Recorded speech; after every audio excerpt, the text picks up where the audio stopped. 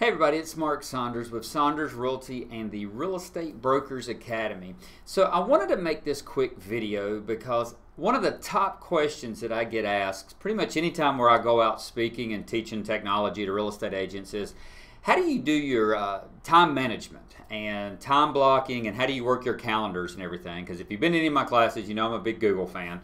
So I thought I'd make this quick video and kind of show you behind the scenes a little bit of how I do uh, work my calendar. Um, I'm going to show you some tips and tricks here to really put your Google Calendar on steroids. This is kind of a new process that I've been using now for a while and it really helps show you the different things involved with time management and how to stay focused on what's most important. This is uh, a really big issue, especially I talk with a lot of new agents, and the work life balance in real estate is pretty tough. Uh, I was teaching recently in a class in Durham, and I had a couple people come up and ask, How do you handle the work life balance, and how do you stay focused on the tasks that need to be done? So I thought I'd make this video and just walk you through the process of how you can schedule everything out.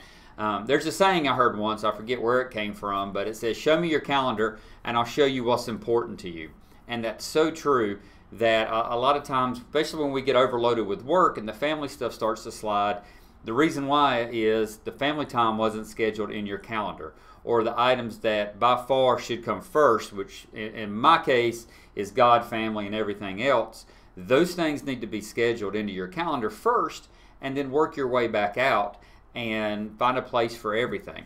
So I thought I would kind of walk you through my process, some of the tips that I use in Google Calendar to get more out of Google Calendar and make it work a lot better. So let me minimize my video here and throw myself down here in the corner. And here we go. So here's my Google Calendar. And right now I don't have any of my calendars selected. I have a lot of calendars on the side over here. But one thing that I try to do is start with the things that are the most important to you. So for me, like I said, God, family, everything else. So that's going to be church and that's going to be family. So that's going to be my personal time. So what you see over here on the left, these are my main calendars. And the way that I've broke the, broken this, uh, have set this up and broken this down is to start there. So if you notice, I've got these little icons in my family and on my workout calendar, getting stuff done. This is the stuff that is revenue generating for me. So obviously those are the things that I, I definitely want to focus on. Um, this is my Real Estate Brokers Academy Things to Do calendar. These are ideas and planning and all that we go into that. Uh, office work and management. These are the things that I don't want to spend too much time on. Uh, running your business, you can kind of get sucked into a time drain of admin stuff all the time. So I try to schedule specific times to stay in this calendar and basically finish it on time because if not, I can go in to do an hour long admin thing and then I look up and three hours are gone. So it's not really a, a, good time management thing to do. So I try to limit those as much as possible. And then out of the office with meetings, these are people that I'm meeting with, could be com commute times and everything. So the couple things I want to show you, to get your icons on here, which I highly recommend, it makes your calendar much more visible, uh, visual and able to keep up with it. You're going to go to what's called the emoji library. So if you do emoji library, it's the very first site that comes up is this emoji uh, like an encyclopedia. Can't hardly say it. Emojipedia sounds really funny, but this gives you emojis for basically anything that you want.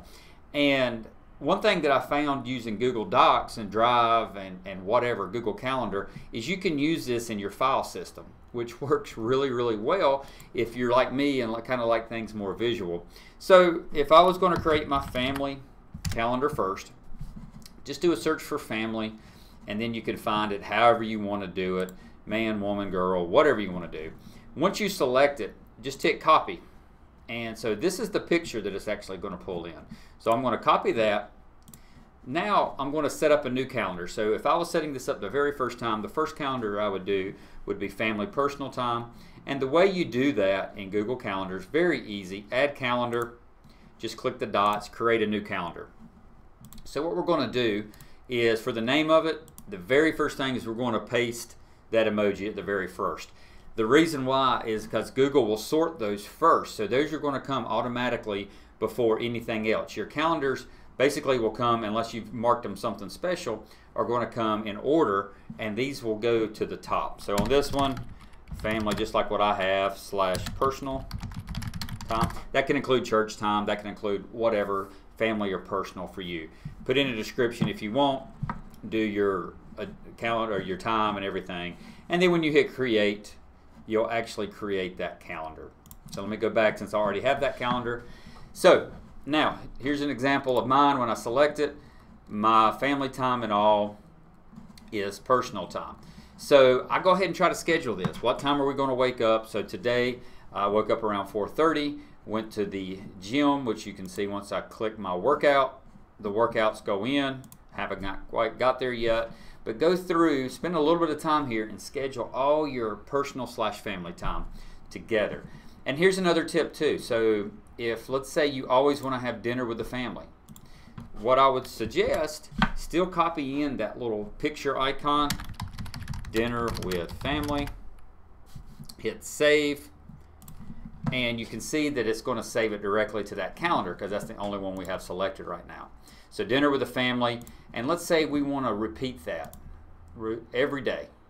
Okay, we can repeat it at that point, but I recommend putting these little emojis in because it sounds funny, but then when our day goes crazy and we start getting really, really busy, when you actually have to go in and delete your family time and there's a little picture of a family there, makes it a little bit harder to cancel that. So you know, if this is a reoccurring thing, like you see here, go to bed for me, I've got the moon in there.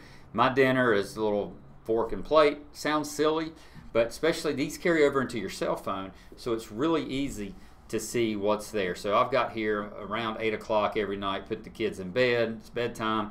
Got a little picture of our kids in there. It just makes it a little bit harder to when, if somebody calls and wants to schedule a time with me, I would have to go in here and actually delete that out. So it's a little bit thing there, but it, it makes you kind of put things in perspective and put things first. So, so personal stuff for me, I put in what time we wake up around 4:30 or 5 every morning. I always schedule in this reading planning time during the day, breakfast with the families on the calendar, and what I try to do is build this whole week out and actually fill in all the uh, spots before the week begins, and then that way I basically have everything scheduled every time's taken, it's going to show me my free time. Like for example, right here, get ready for work, 7 to 7.45. I don't leave for work till 8.15. So if I wanted to fit something in that, that little space, I could. Um, or I could just drag this down a little bit longer and plan on taking a little bit longer to get ready for work. So just this event, and there you go. So it's going to fill the spots in and everything. So that would be my family. Then next would be workout for me. I, you know, try to stay in shape try to get the gym as much as I can. So I'm going to hit workout, and this would be the exact same way. So a person that I work out with, we usually uh, work out three to four times a week. So that's already in there as well. So now you can see I've already scheduled family personal time. I've already scheduled my workouts before I even get to really my work appointments or anything. So the next thing, getting stuff done. Oh, and here's another tip I was going to tell you. These are all different calendars. So you can have multiple, multiple calendars within your one account.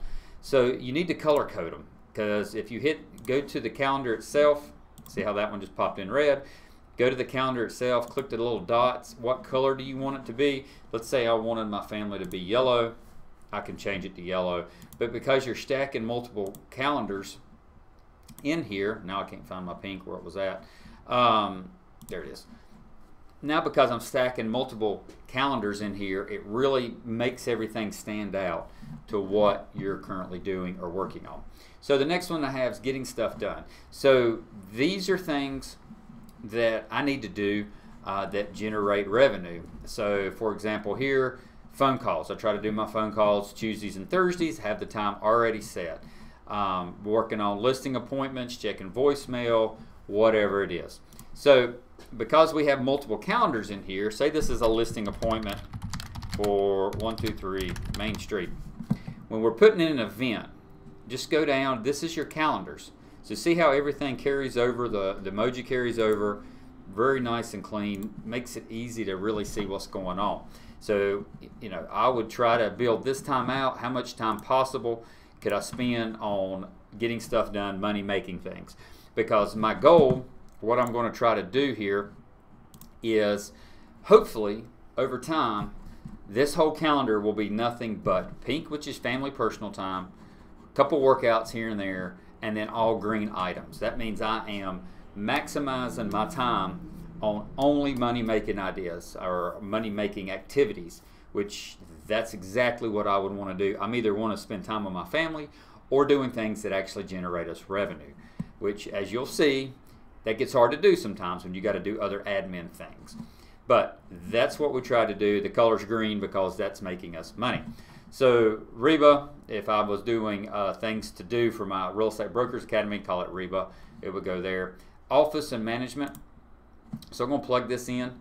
And these are items that need to be done um, to kind of run our business, but they don't really generate us any revenue. So that's great. So they can set out a little bit there. Um, I want to limit these as much as possible. Short, quick meetings with my assistants or uh, some of our managers and everything.